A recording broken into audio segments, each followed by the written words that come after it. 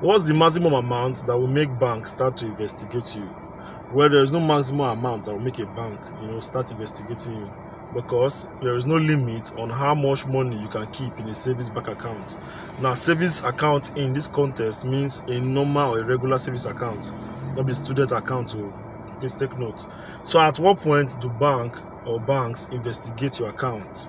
Once a potential fraudulent transaction is flagged, automatically your account will be investigated. So now, what is a potential fraudulent transaction?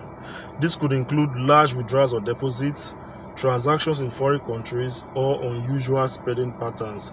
Now, the major point here we need to highlight is large withdrawals or deposits because this is where account investigation begins from.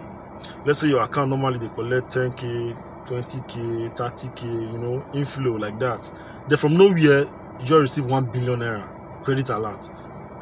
they go must investigate them. You have to tell the bank where you got that money from and the purpose of that money. You don't understand? So that's unusual, you know, deposit. Your account must be investigated. You don't understand? So I hope you have learned something new. Alright guys, if you like this video you just watched and you want like learn how to edit them, that is you want learn video editing, um, a very simple something, just come to my DM with 10,000 naira only and I go put you through how to edit my videos. You understand? 10k only, I will teach you how I edit my videos. You don't understand? So please, when you send me the message, straight to the point. Hi, I want to pay for a video tutorial. Straight, not gonna do hello, what's up? Mm -mm. Straight to the point. I did the hot. I did rubber.